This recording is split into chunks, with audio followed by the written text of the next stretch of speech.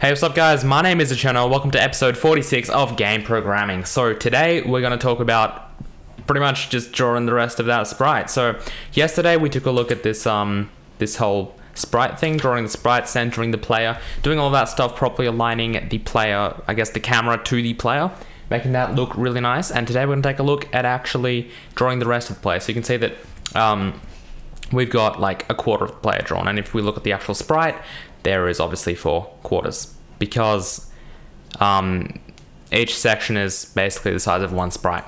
All right, so that's great. Now, uh, yesterday we actually created. If you go to the, if you go to the sprite class, which is right over here, um, you'll see that we actually created four sections, I guess, of the sprite.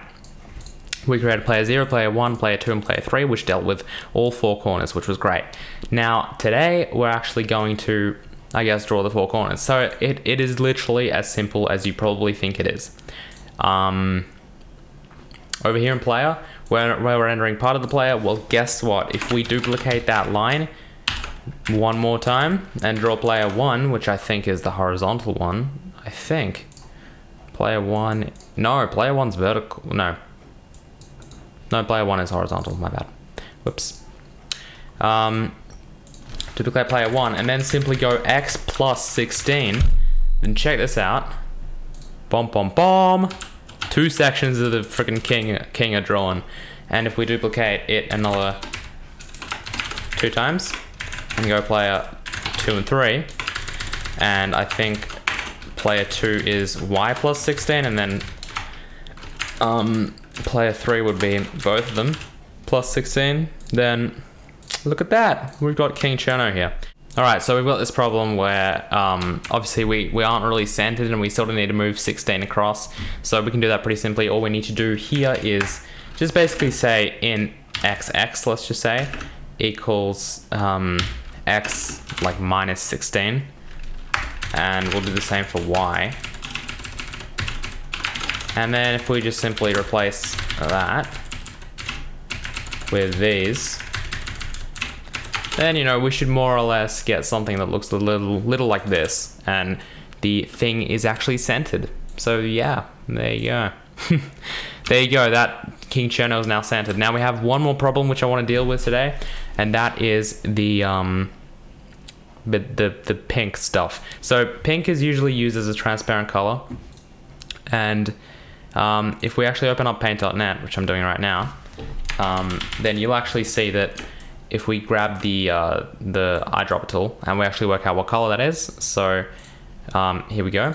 You can see that the color is FF00FF. That's the hexadecimal value of the pink of that particular shade of pink, which is full, full, full blue and full red, as you can see.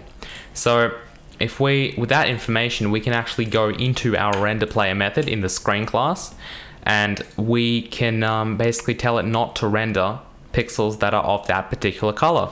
So if we hit up integer, like a new integer called col and COL that stands for color, right? And then we'll fill it with the color, with the pixel color. So if we just come in here and basically do that, right? And then set that, set that equal to color. We'll do this one step at a time so you guys get what I'm doing. So what I've done here is I've just defined an, an integer to, I've just defined a variable to take that so I've just switched it out for a variable, which has the exact same value, so which should give the exact same result, of course. And now what I'm gonna do is before it actually renders that, I'm just gonna say only render if color is not equal to 0x that color, which is FF00FF. And it doesn't matter if these Fs are lowercase or uppercase, it same effect. All right, so if color does not equal pink, then render a pixel onto the screen.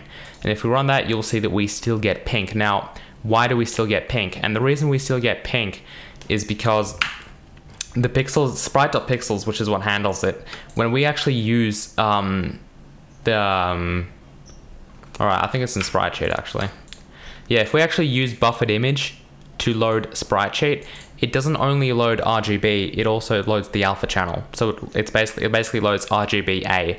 And you can see over here that, you know, we are still using RGB, right? If you go into buffered image, we are still using RGB for this, right? We're using RGB for this, but not for that. So um, because of that, we kind of need to compensate for that and simply say FF. So 0xFF, we just add an FF out front, and that'll actually, as you can see, get rid of the pink and create an awesome King Cherno sprite. And that's it. Um, now, a lot of you guys, the top comment actually from yesterday's video said, you know, release the sprite Cherno. so I will. Um, you'll find a link in the description and you'll be able to download this. Um, you'll be able to download, you know, this this sprite, this King Cherno sprite, and um, and use it, you know, for Rain for your version of Rain. Um, and yeah, so that's cool. The other thing I wanted to mention really quickly is like people have been begging me to do live streams, and I don't have time to do live streams.